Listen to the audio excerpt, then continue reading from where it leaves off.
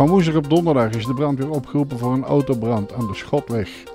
Ter plaatse bleek er een auto in brand te staan die dicht bij andere auto's geparkeerd stond.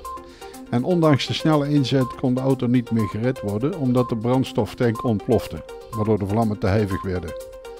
De brandweer heeft de ontplofte brandstoftank onder de auto vandaan gehaald. Het ontstaan van de brand is niet duidelijk, maar brandstichting wordt niet uitgesloten.